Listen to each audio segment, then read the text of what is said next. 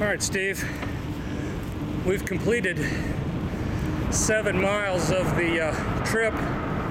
We're going underneath uh, Interstate 465 right now and coming up to the 96th Street crossing, which does have a, uh, a really nice rest area here. So, uh, anyway, I'll turn around, take a little break right here, and we'll finish uh, the rest of the 10 miles.